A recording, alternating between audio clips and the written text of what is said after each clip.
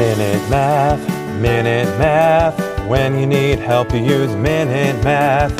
Hi, I'm Sean Gannon, and this is Minute Math, and today we're learning about multiplying binomials, where to find each product. So, if I was given this product, n minus 1 times 2n minus 2. We want to take all parts of our first parenthesis and multiply it by all parts of our second parenthesis. So n times a 2n is a 2n squared. n times a minus 2 is a minus 2n. A minus 1 times 2n is a minus 2n. And a minus 1 times a minus 2, a negative times a negative is a positive, is a positive 2.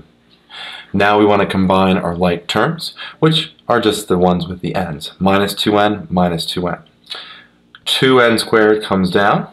A minus 2n minus a 2n, be careful, is a minus a 4n.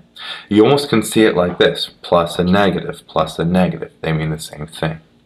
Then we add another 2, or bring that 2 down, and there we have our final answer, 2n squared minus 4n plus 2. Minute Math, Minute Math. When you need help, you use Minute Math. Minute Math, Minute Math. When you need help, you use Minute Math. MinuteMathTutor.com.